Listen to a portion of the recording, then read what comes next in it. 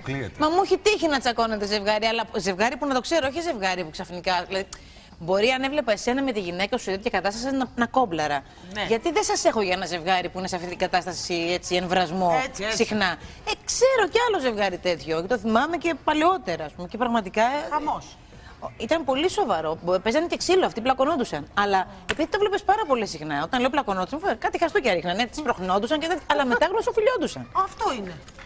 Ναι, εγώ το έχω ξαναδεί αυτό το σενάριο και γι' αυτό σου λέω για ζευγάρια που το κάνουν συνέχεια. Απλά γελάω. Δηλαδή λέω, Α, έτυχε πάλι. Ήταν Να το σκηνικό περίεργο. Ήταν το καράβι, ήταν η προβλήτα, ήταν το σημασία πι. Πετάνιος. έχει, γιατί άμα ήταν σπίτι σου θα άλλαζε κάτι; Η ζέστη, τα λόγια του παπά, μήπως Εάν δεν ήταν ξέρεις. σπίτι μου, Ναι. δεν θα είχα χωθεί να τον πάρω τηλέφωνο.